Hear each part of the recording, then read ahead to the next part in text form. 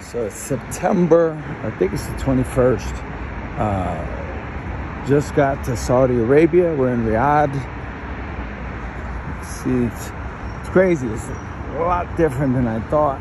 We're staying at the Hilton Riyadh.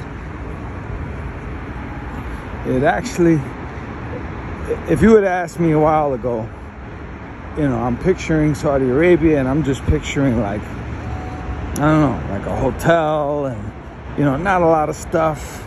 You know what I mean? And and uh, I don't know. I don't know what I picture. I, I, didn't, but it's to be honest. Look at the highway. I mean, it's literally like Las Vegas. Like when I got here and we we turned the corner off the bridge, I said, man, it looks just like just like Vegas.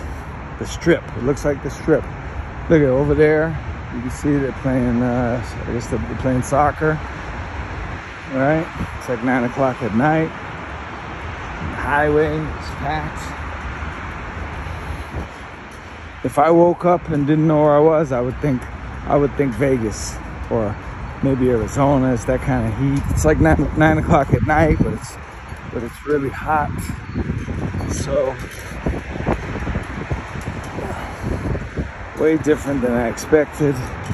I'm going to the mall. Let's check out the mall. Hold on.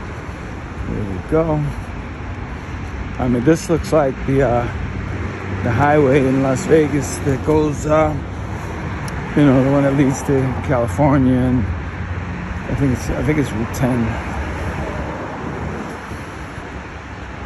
So look, you turn the corner, look at the mall. It's just like a mall in America. Same thing. And look, they have a Tim Hortons in in Saudi. Nice.